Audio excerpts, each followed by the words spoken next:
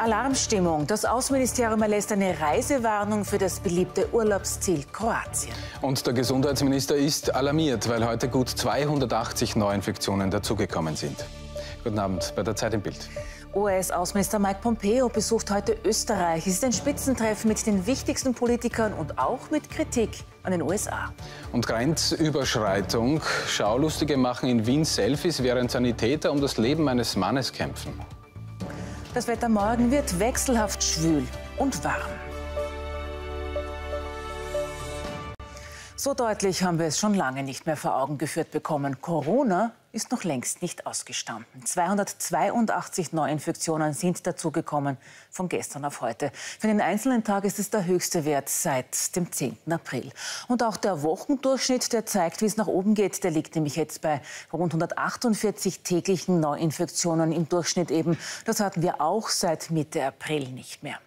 Viele Infektionen sind aber so verlaufen, dass es die Betroffenen gar nicht bemerkt haben. In den letzten sieben Tagen haben 24 Prozent der jetzt positiv Getesteten keinerlei Symptome gespürt, sondern die sind etwa durch Umfeldscreening entdeckt worden. Ein Viertel aller Corona-Fälle wurde aufgespürt, weil Kontaktpersonen von bereits bekannten Angesteckten getestet worden sind.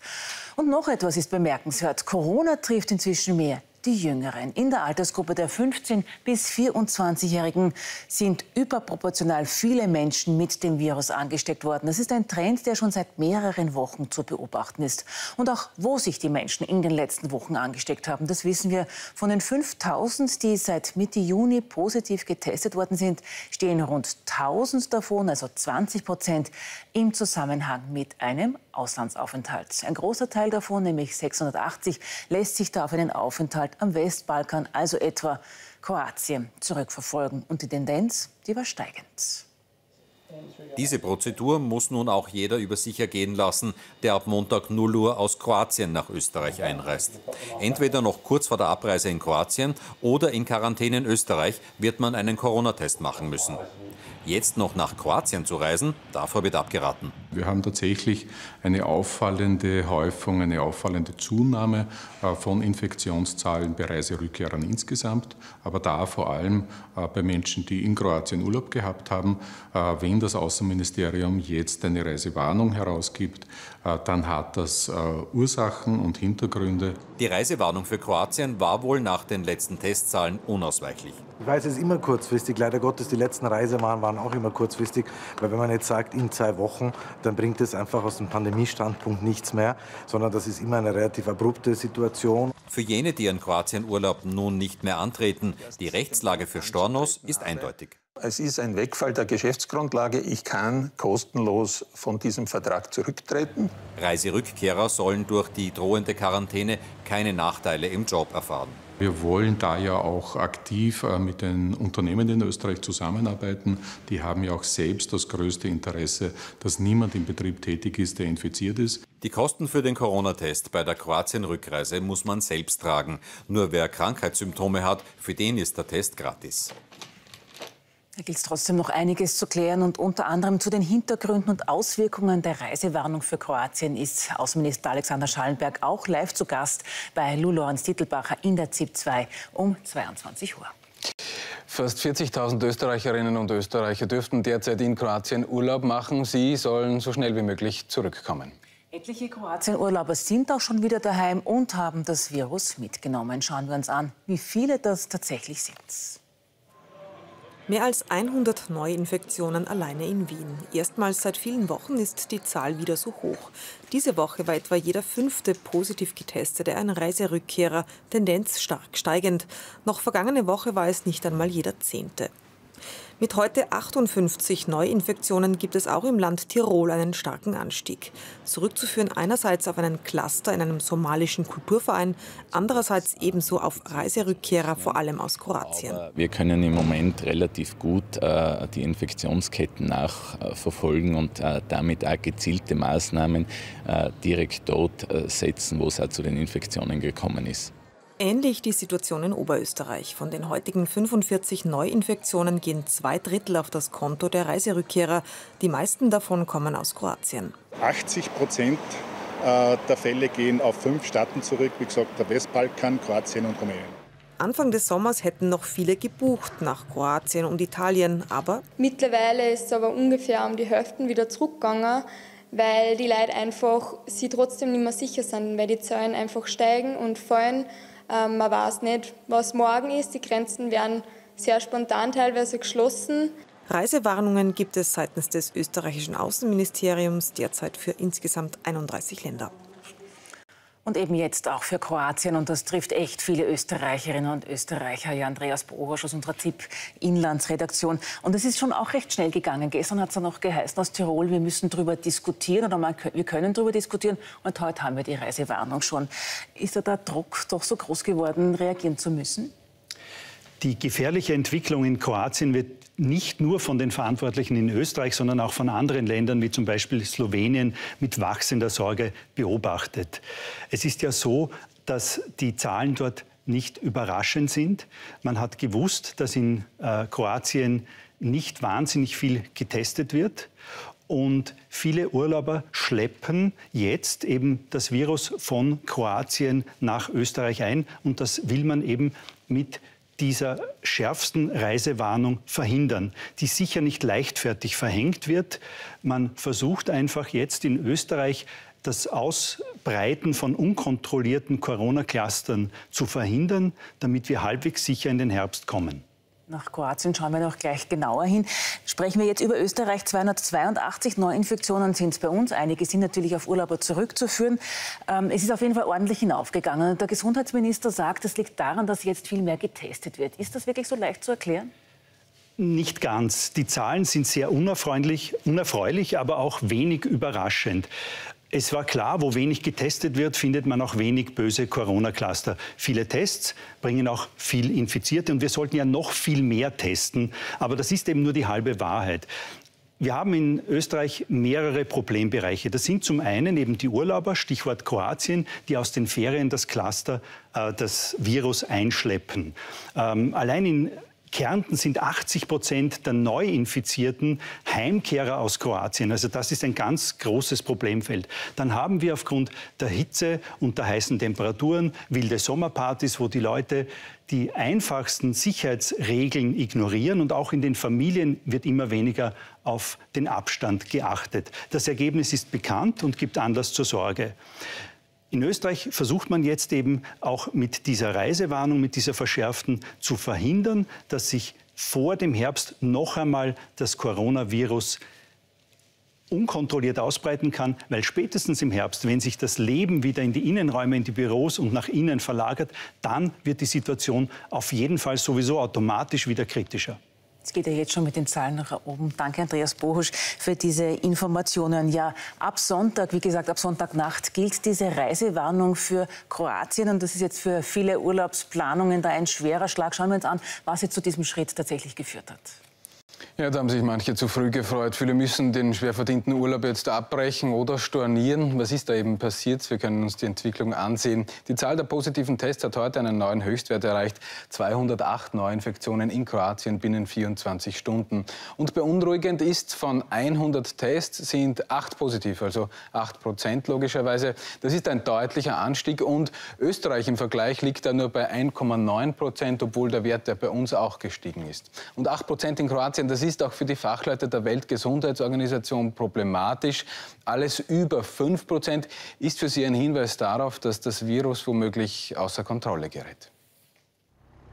Die neue österreichische Reisewarnung für Kroatien, der Aufruf heimzukehren oder den Urlaub nicht anzutreten, führt nicht nur an der Küste der Insel Bol zu Reaktionen. Gäste reisen unverzüglich ab, Reisen werden storniert. In Kroatien sind die Pandemiezahlen auf einem Rekordhoch, 208 neue Positivfälle innerhalb von 24 Stunden. Grund, so der Epidemiologe, Jugendliche feiern in Nachtclubs, aber auch im Freien. Ich weiß, Jugend ist die Zeit, in der man nichts anbrennen lässt, aber das ist nun das Ergebnis. Je weniger Indoor stattfindet, desto mehr versammeln sich im Freien. Innenminister Davor Bojinovic versucht zu beruhigen. In den Regionen, wo sich die meisten Touristen aus Österreich befinden, gibt es eine günstige epidemiologische Situation. Er weist auch den österreichischen Vorwurf zurück, Kroatien operiere mit falschen Zahlen. Es gibt bei den Tests keine Möglichkeit zu schummeln. Die österreichische Reisewarnung trifft Kroatien. Gerade hat nach der Corona-bedingten toten Hose zu Beginn der Saison der Tourismus begonnen, sich ein wenig zu erholen, stieg auf etwa 70 Prozent Gästeauslastung gegenüber dem Vorjahr. Für die Rückreisenden heißt es nun, aktueller negativer Test oder Quarantäne, bis ein negativer Test vorliegt. Fragen wir jetzt nach bei unserem Balkan-Korrespondenten Christian Wehrschütz. Es gibt eben diese Gerüchte, dass Kroatien geschummelt hat, dass das offiziell zurückgewiesen wird. Das ist wahrscheinlich keine Überraschung. Wie bewerten Sie diese Gerüchte? Ist da was dran? Also ich habe bisher in all den Monaten keinen einzigen Hinweis gefunden, dass Kroatien geschummelt hätte. Es gibt teilweise unterschiedliche Methoden zu testen und unterschiedliche Gruppen, die nach einem positiven Fall auch noch weiter getestet werden. Aber ich habe nirgends gesehen, dass geschummelt worden wäre. Man muss bei Kroatien auch dazu sagen, die regionale Verteilung der Fälle ist sehr unterschiedlich. Wir haben das bekannte Problem mit den Nachtclubs und den Partys in Istrien und Quarner, wo eigentlich die Masse Masse der österreichischen Touristen da ist, ist die Zahl sehr gering. Aber Kroatien hat mit dem Feuer gespielt und sich verbrannt, weil man eben die Nachtclubs nicht geschlossen hat. Jetzt kennen Sie viele, die Kroatien oft besuchen, viele, die in Kroatien leben, etwa auch Hoteliers zum Beispiel. Welche Reaktionen bekommen Sie denn von dort heute? Naja, für die war das natürlich ein echter Schock. Einerseits geht es natürlich um die Stornierungen, aber andererseits heute ist Freitag. Man hat also bei äh, Hotels etwa in Sada versucht, Corona-Tests möglich zu machen, damit die äh, Touristen, die Österreicher, die nach Hause müssen, bereits in Sada einen Test machen können. Aber erstens einmal ist die Kapazität gering und zweitens Freitagnachmittag, wo kriegen Sie da einen Test her? Also wer jetzt äh, morgen oder übermorgen abreist, wird kaum eine Chance haben, in Kroatien einen Test zu machen. Der wird dann eben äh, in Österreich diesen Test machen müssen, während er in der Quarantäne ist. Das ist natürlich für die Hotels und für die Region ein schwerer Schlag. Aber noch einmal, Italien hat ebenfalls bereits Tests eingeführt. Interessant ist, dass das Slowenien noch nicht gemacht hat, was wieder für die unterschiedliche Interpretation spricht. Aber Kroatien hat viel zu lange zugeschaut und das ist jetzt die Konsequenz.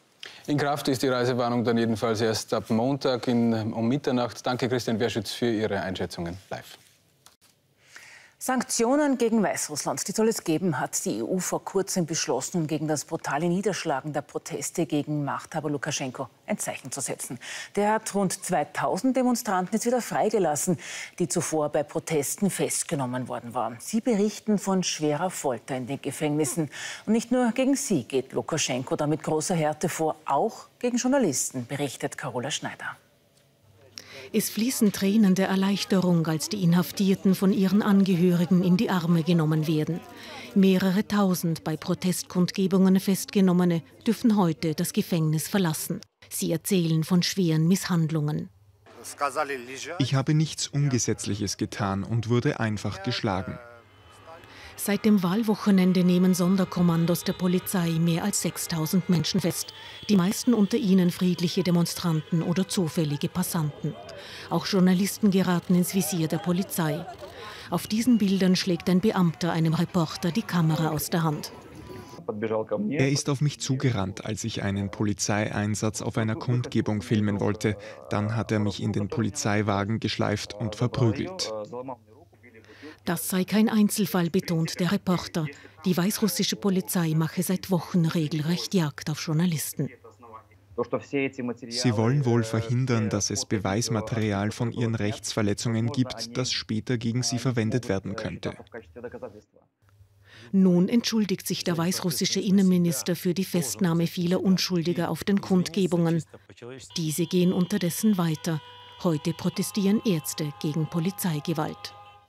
In Wien war das heute wegen der Polizeipräsenz kaum zu übersehen. US-Außenminister Mike Pompeo ist in der Stadt und hat die Spitzen der Republik getroffen. Bundespräsident van der Bellen, Bundeskanzler Kurz und Außenminister Schallenberg etwa.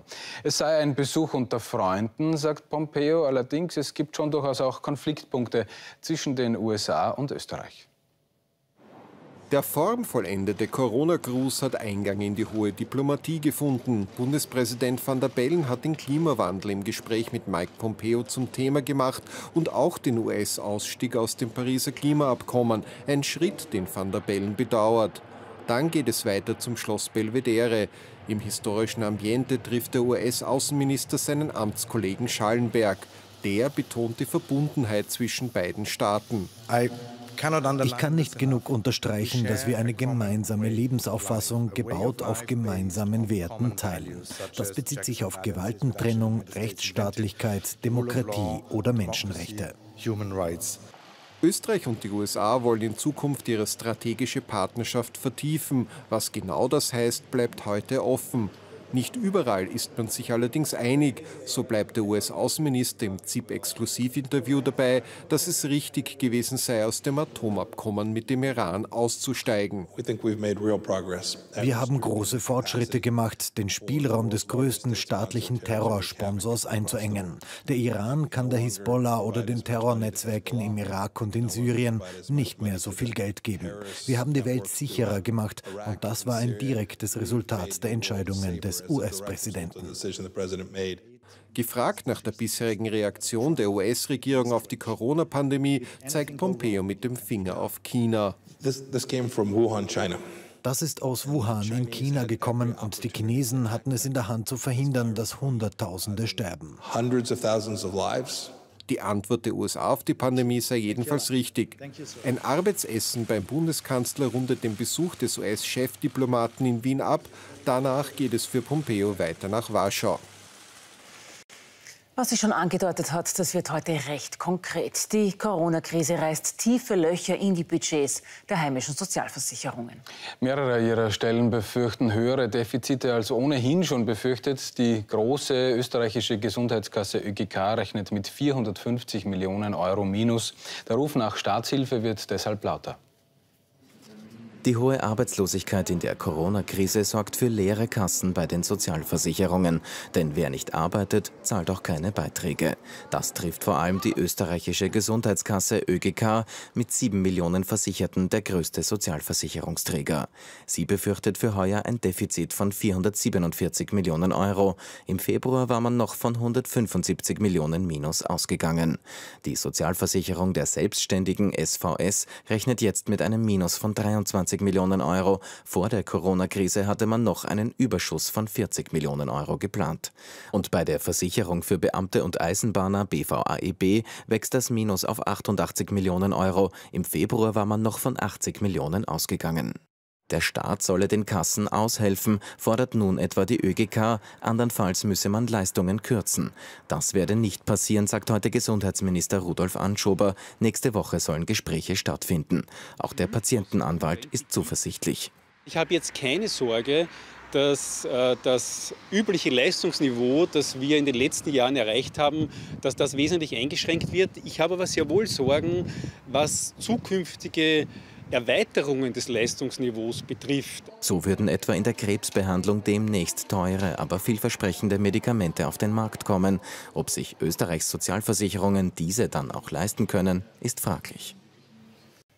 Der Aufnahmetest für die Medizinunis läuft gerade wieder Jahr für Jahr eine ne, nervenaufreibende Hürde, die es für die Bewerberinnen und Bewerber da zu überwinden gilt. Heuer allerdings in diesem Pandemiejahr so eine Massenveranstaltung mit österreichweit insgesamt fast 12.500 Menschen eben Corona-gerecht über die Bühne zu bringen, das heißt schon was.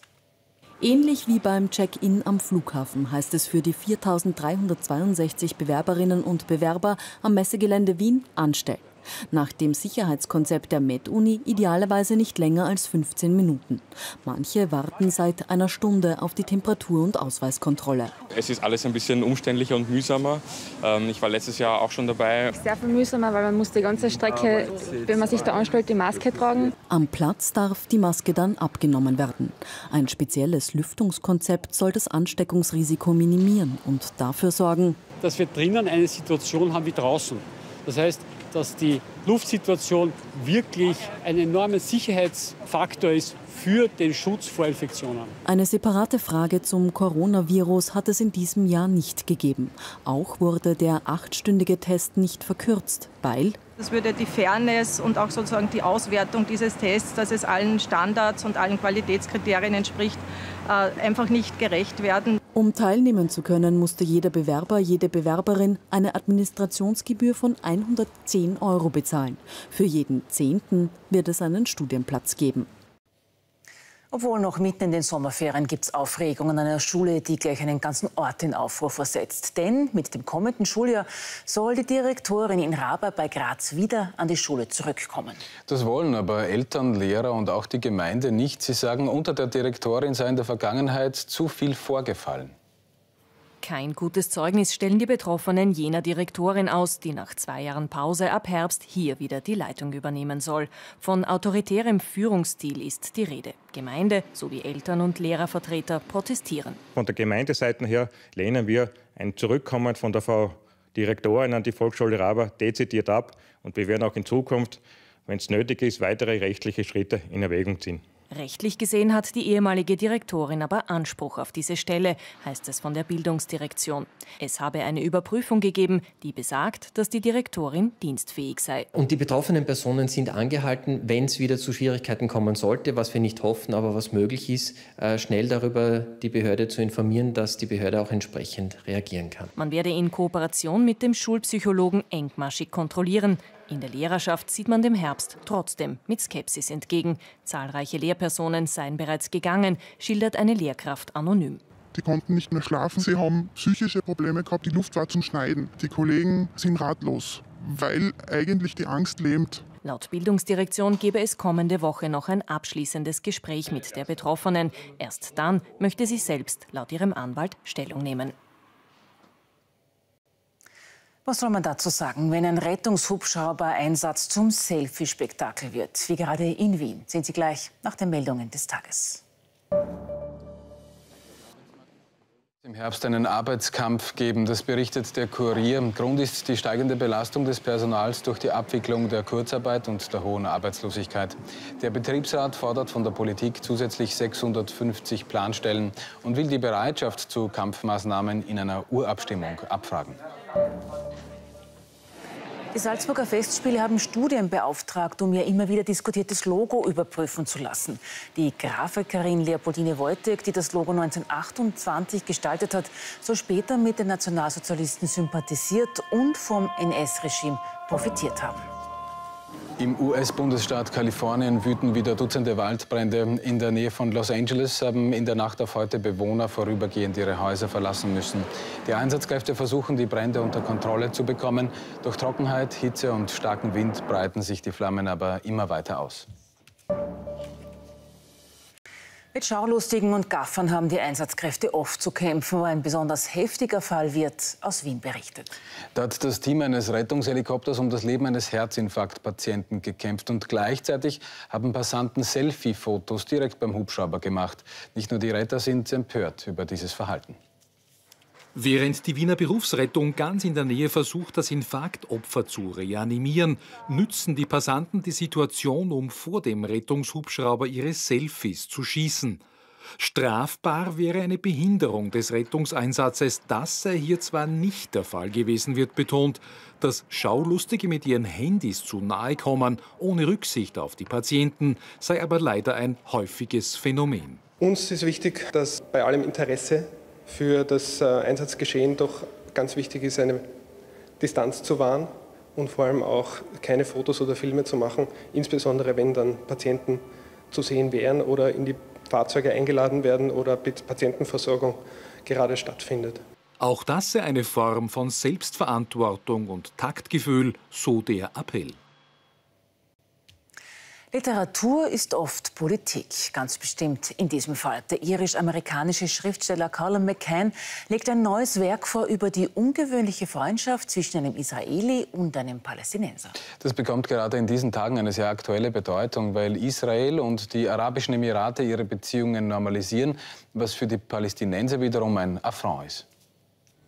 Zwei Männer, zwei Leben, ein Schicksal. Apeirogon erzählt die wahre Geschichte einer ungewöhnlichen Freundschaft – Rami El-Hanan ist Israeli und Bassam Aramin Palästinenser. Beide haben ihre Töchter verloren. Die eine starb bei einem palästinensischen Selbstmordattentat, die andere durch die Kugel eines israelischen Grenzpolizisten. Seit über zehn Jahren setzen sich die Männer für Frieden in der Nahostregion ein. Diese Männer kommen von einem Ort, an dem sie eigentlich Feinde sein müssten. Aber sie sind Freunde. Und sie haben sich dazu entschlossen, die Kraft ihrer Trauer als Waffe im Kampf für den Frieden zu nutzen. Das gibt Hoffnung. Meist sind es reale Biografien und weltpolitische Ereignisse, die der in New York lebende Autor Colin McCann in seinen Büchern zur Literatur verarbeitet. Meine Mission ist, die Leser ein bisschen zu irritieren, ihre Herzen zu öffnen, aber nicht zu erklären, wie sie denken sollen. A Pyrogon ist ergreifend erzählt und poetisch zugleich. Der Roman verdeutlicht, dass die Wahrheit unendlich viele Seiten hat. Was ist wahr, was stimmt und was stimmt nicht? Das fragen sich gerade auch die Formel 1-Fans. Denn es gibt Gerüchte über eine vorzeitige Trennung von Sebastian Vettel und Ferrari. Aber der Rennstall dementiert. Erfahren Sie gleich mehr im Sport. Absolut zutreffend und zu 100 Prozent wahr ist die Aussage, dass Christa Kummer Ihnen gleich den Wetterbericht präsentieren wird. Und wir erwarten Sie verlässlich auch morgen wieder hier an dieser Stelle. Für heute sagen wir Danke fürs Zuschauen. Schönen Abend. Auf Wiedersehen. Auf Wiedersehen.